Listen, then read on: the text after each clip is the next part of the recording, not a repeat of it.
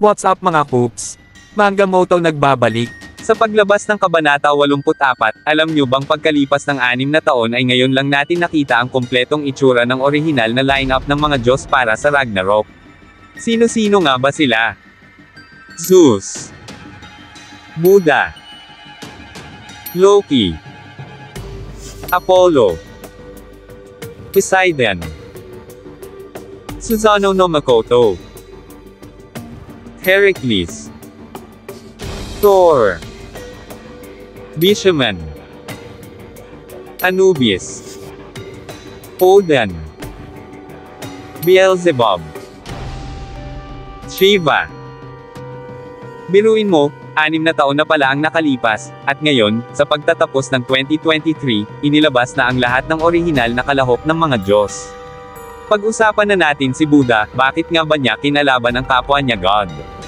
Dahil ito sa pagmamahal ni Buddha sa humanity, lumaban siya para sa mga tao, at wala siyang pakialam kahit sino pang God ang makaharap niya, kahit pa si Zeus, ay hindi niya sasantohin.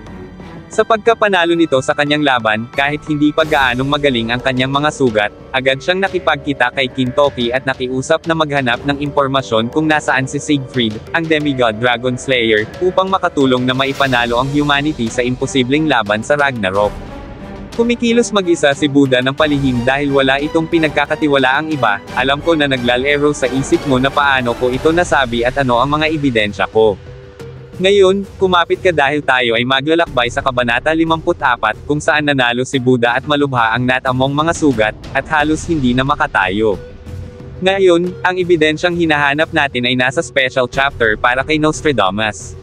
Makikita na naglilibot si Michael Nostradamus sa mga silid ng mga gods, at dito sa panel na ito nakita ko na imbis na magpagaling si Buddha sa kanyang higaan, nawawala ito sa kanyang kwarto at makikita natin na tambak na ang pagkain na dinala dito, isang indikasyon na matagal nang wala ito sa kanyang silid at kahit pa naipanalo niya ang laban, kailangan niyang gumawa ng paraan para kumuha ng mandirigman na siguradong maipapanalo ang laban. Ang tanong, nasaan na kaya si Buddha sa mga oras na to?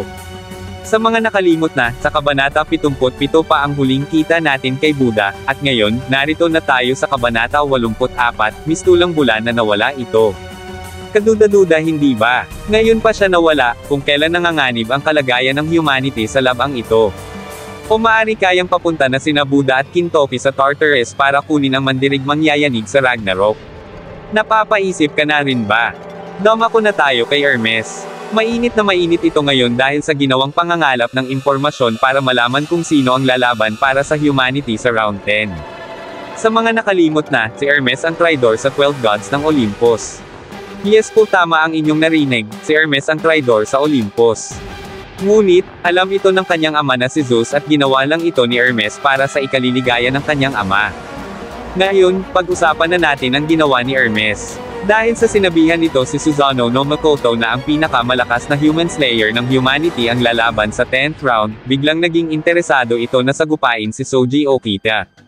Ang tanong, maliligayahan ba ang kanyang ama na si Zeus sa ginawa niyang ito? Yes na yes ang sagot, mga kakops. Dahil bukod sa pumapabor na ang laban sa mga gods, kung sakaling masungkit ni Soji ang panalo, magiging sobrang hype nito na siguradong masisiyahan talaga si Zeus sa dikdikang bakbakan na mapapanood niya. Paano ko nasabi? Ang kakalabanin lang naman ni Soji ay ang mismong lumikha ng Kenjutsu, na pangunahing ginagamit niya sa pagpatay.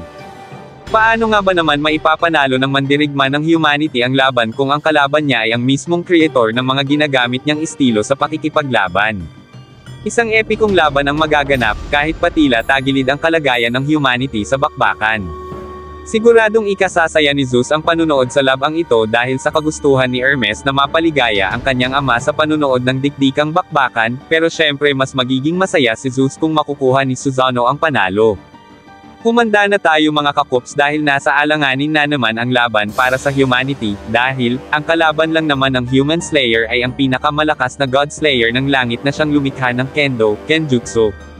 Pag-usapan na rin natin ang panel na ito, makikita ang mga nakatekip na upuan na sumisimbolo sa mga kasamahan nilang gods na namatay. At dahil masaya ako ngayon, kakalugin ko utak nyo sa pasabog na ito. Nabanggit na natin ang mga gods na namatay kaya, kumapit ka dahil dadalhin kita sa Kabanata 61 kung saan makikita natin ang laboratorio ni Beelzebub. Alam na ng lahat na kayang bumuhay ng patay ang Lord of the Flies sa kabanatang ito, ngunit, mapapakapit ka dahil sa isang misteryosong panel na makakalog ng utak mo. Handa ka na ba? Sa panel na ito, makikita natin sa kaliwa ang laban na nagaganap sa pagitan ni Hades at Qin Shi Huang. Pero sa kanan, mapapasabunot ka sa ulo mo dahil may mata na nakalagay sa capsule pod. Manga motto, ano naman kung may mata dyan?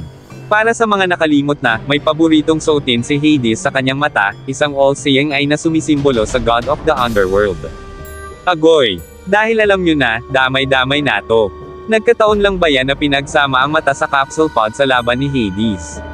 Tingin ko, hindi ito nagkataon lang, isa itong foreshadowing na aabangan mo talaga sa hinaharap. Sorry na agad balik na tayo sa kwento. Kulang pa ba yan, kakops?